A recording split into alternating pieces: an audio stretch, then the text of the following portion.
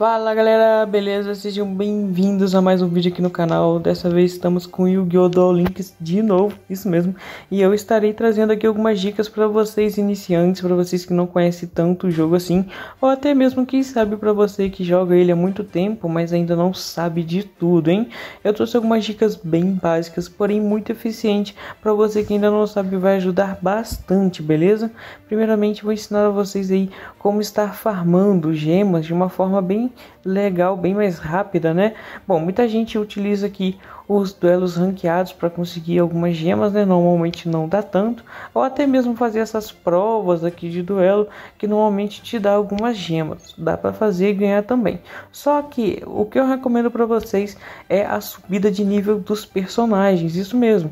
Estamos aqui com Sartorius, um personagem que eu adquiri aí recentemente. Eu estou aqui com muitos níveis para subir com ele ainda.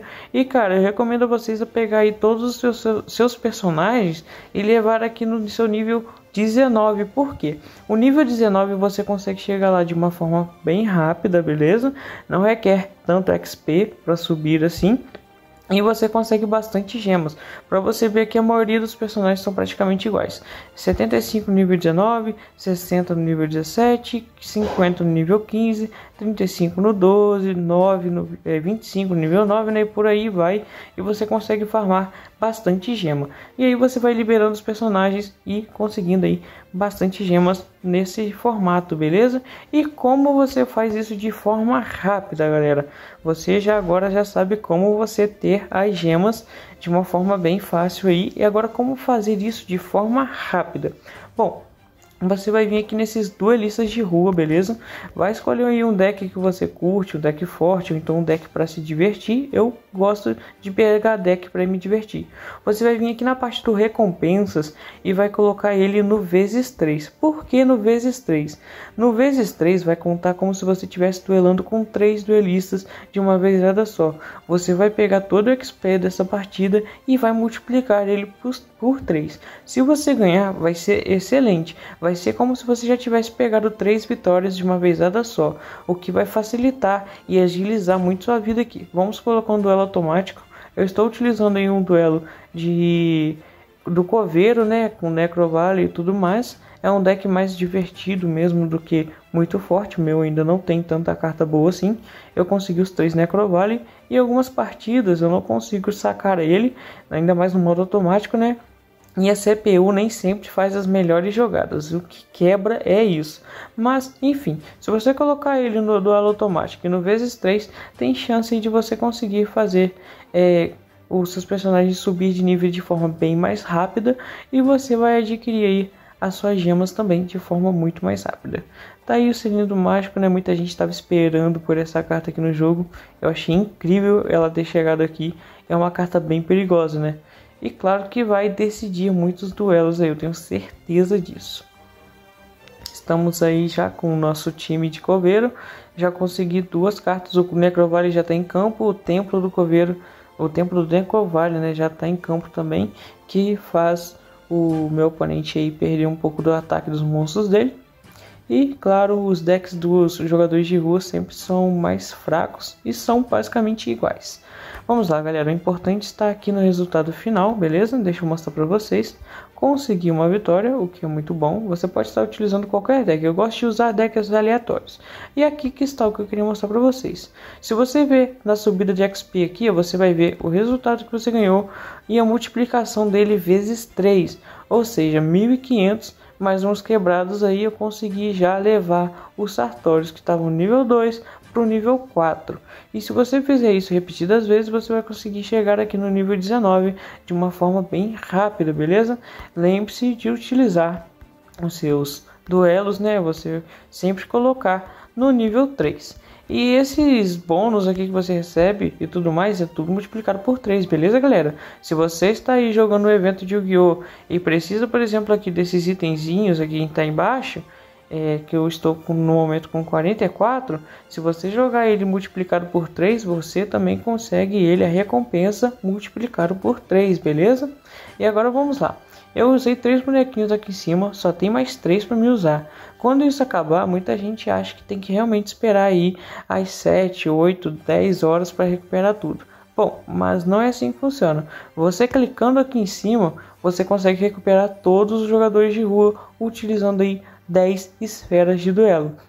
Você vai conseguindo essas esferas de duelo é, conforme você for jogando, vem como recompensa também. E aí você juntando elas, você consegue é, trazer todos os jogadores aqui da rua de novo, que vai te ajudar a farmar o, todos os seus duelistas, beleza? E claro, você pode utilizar o portão também. Aqui requer chaves para quem joga há muito tempo, vai ajudar bastante, beleza? Mas você pode fazer o mesmo esquema, vem no recompensa, coloca multiplicar por 3, que aí todo XP que você ganhar vai ser multiplicado por 3, beleza? Eu recomendo vocês utilizarem aqui é, os seus duelos com os duelistas sempre no nível 40, beleza? Em todos os personagens, porque a recompensa vai ter cartas bem mais significativas do que você duelar contra eles num nível mais inferior. Se você colocar ele, por exemplo, aqui no nível 10 e vir na recompensa, olha só o tanto de carta que você tem para tirar. E normalmente as cartas raras aqui são as que mais saem, o que acaba te deixando aí é, com recompensas nem tão boas assim.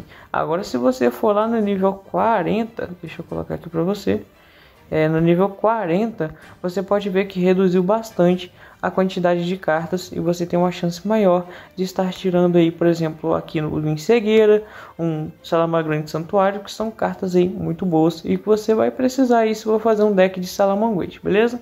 Mas enfim, é assim que você pode conseguir gemas de um nível rápido e claro, também é assim que você pode estar conseguindo é, conseguir suas gemas, no caso, de um, é, de um jeito bem mais rápido. E agora para finalizar, vamos jogar aqui uma ranqueada utilizando o meu deck favorito, que é o deck de Shiranui. E aí, qual é o seu deck favorito no Yu-Gi-Oh! Duel Links? Deixe aí nos comentários. É, vamos ver como eu vou me sair nesse duelo aqui. Deixa eu colocar aqui para ir na ranqueada. Eu estou bem lá embaixo na ranqueada, como vocês podem ver.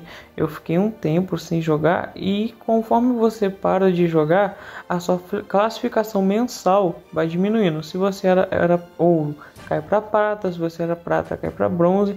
Se você era bronze, cai para, eu não sei se é amador ou se é outra coisa. É recruta. Isso mesmo, você cai para recruta. Se eu não me engano, eu sou recruta nível 1, porque eu realmente parei de jogar o Duel faz muito tempo que eu não jogo. Eu estou dando muita atenção pro canal e, claro, também aos duelos físicos, isso mesmo. Então, eu fiquei sem tempo para jogar. Muitos de vocês sabem, eu trabalho no mercado, então eu fico meio sugado, sem muito horário também. E sempre que eu posso, eu trago um videozinho para mostrar para vocês. Eu já vim com uma mão bem ruim aqui. É, se eu utilizar esse cara aqui em modo de ataque, provavelmente não teria ainda nenhuma jogada, por isso vou começar aqui apenas deixando ele de face para baixo. Ainda não sei qual é o deck que meu oponente está usando, porém quando a gente joga contra esses recrutas, normalmente são bem iniciantes também e utilizam decks aí com até 30 cartas, o que você já pode perceber que é um deck que vai ter problemas e não vai girar tanto. Bom, nem sempre, né? Mas vamos ver aí qual vai ser a estratégia do Felipe Rodrigues, que é o nosso oponente de hoje vai ser o único duelo, do único duelo da ranqueada que eu estarei fazendo, mas se você curte assistir duelos e ranqueadas, eu posso tentar fazer uma live aqui pro canal, vocês que vão decidir, beleza? É só deixar nos comentários.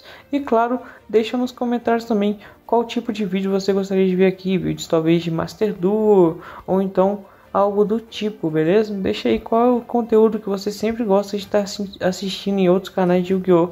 que eu vou tentar trazer aqui para vocês, beleza? Cara, uma escudeira que seria muito boa. Vamos começar destruindo a bagaça toda aqui. Não vale a pena talvez agora, porque o cara só tem um monstro. Mas, não sei o que, que tem ali embaixo. É bom já me prevenir. Vou ativar a habilidade do meu monstro. Vou levar aqui o meu espada para o campo. Infelizmente ele vai ser banido, porque esse é o efeito do mestre espiritual, né? Se invocar um monstro e tirar no por esse efeito, o monstro acaba sendo banido o que não vai me dar a possibilidade de fazer uma sincro no cemitério. Vim bem brincado, se eu posso falar assim, mas falei, o cara não tem nada, é apenas um blefe. Se eu tivesse deixado o monstro ali, provavelmente ia ter uma carta que ia me dificultar, hein? Será que vai dar bom, galera? Uma vitória aqui para finalizar o vídeo com chave de ouro? O que, que vocês acham? E claro, deixem nos comentários também se você quer que eu faça um vídeo utilizando algum outro deck Quem sabe eu não tenho. Eu tenho é. é como é que fala? Eu tenho Shiranui, um Blue Eyes bem improvisado aqui, mas tenho também. É... Cara, eu esqueci o nome do outro que eu tenho, mas é um deck bem interessante. Ele não me atacou, ele tem alguma coisa ali, cara. Ou então é aquela carta mágica ali que eu não sei o que, que faz. Mas ela não vai ficar aí por muito tempo, não. Uma jogada muito legal que eu gosto de fazer. Eu só tenho um desse cara aqui no meu deck. Mas é apenas um que eu preciso, que é pra fazer a nível 7 aqui. Que é a Escudeiro Saga, beleza? Olha que jogada maneira, galera. Eu curto demais esse deck, velho. Shiranui pra mim, é, por mais que não seja o deck meta e tudo mais, pra mim é um deck muito foda. Meu deck favorito. E eu tô falando com vocês aqui e acabei fazendo a jogada errada. Era para mim ter banido o meu mestre para ele destruir uma carta do meu oponente. Ai, ai, mas tá bom, acontece. Acontece, vamos lá, vamos ver o que, que vai dar. É, realmente, galera, parece que o cara era só um iniciante e encheu os decks, o deck dele de carta aleatória. Isso acontece bastante, eu já passei por isso. Meu primeiro deck foi um estrutural aí do Joey de olhos vermelhos. E eu apanhava direto, né? Até entender o que, que era um deck de Yu-Gi-Oh! de verdade. Mas eu creio que você que é iniciante não vai ter tantos problemas, desde que você consiga fazer um deck bem interessante para poder jogar aqui e subir de forma rápida, beleza? Bom, enfim, esse foi o vídeo de hoje. Espero que vocês tenham curtido aí. É, eu ensinei um básico mesmo, que é como você poder ganhar gemas aí e também de uma forma mais rápida, que é utilizando vezes 3. Claro que não é algo para muita gente que vai mudar o mundo, né? Mas para quem está começando agora, ajuda até que um pouco, beleza? Então é isso, espero que vocês tenham curtido. Mais pra frente, se vocês quiserem, eu posso fazer lives aí, duelando um pouco da ranqueada. E claro, deixa nos comentários aí tudo que você quiser falar porque eu, eu gosto de responder todos vocês, beleza? Então é isso, galera. Até a próxima.